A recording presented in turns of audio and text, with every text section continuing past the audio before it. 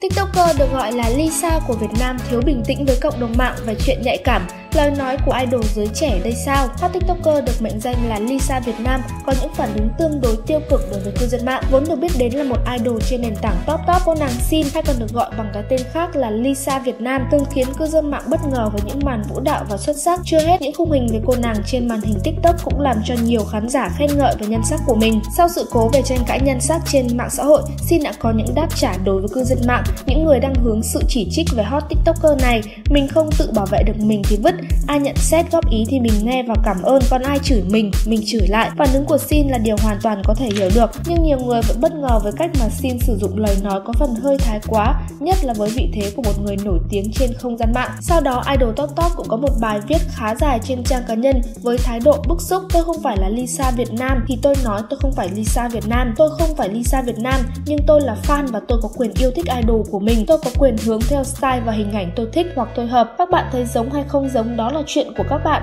Đừng có nói kiểu không nhận là Lisa Việt Nam mà cố làm giống Lisa. Đó là các bạn tự thấy giống còn cố là cố như nào để mấy bạn thử cố, giống xem được không? Hay tôi không được để tóc mái nữa, không được nhuộm màu sáng nữa. Hay đi sửa mặt và nghỉ nhảy luôn để không có một cái gì liên quan các bạn mới vừa lòng. Không khó để thấy rằng sự so sánh về nhan sắc thật và trên tiktok đã khiến cho Lisa Việt Nam cảm thấy bức xúc. Như đã nói trong một bài viết gần đây, thực chất thì xin không phải là trường hợp duy nhất xuất hiện trên tiktok và ngoài đời cho thấy sự khác nhau đó đều là những sản phẩm do filter được sử dụng tràn lan hiện nay trên các nền tảng mạng xã hội hoặc những ứng dụng chỉnh sửa. Vấn đề này không hoàn toàn chỉ của riêng một mình Lisa Việt Nam đâu.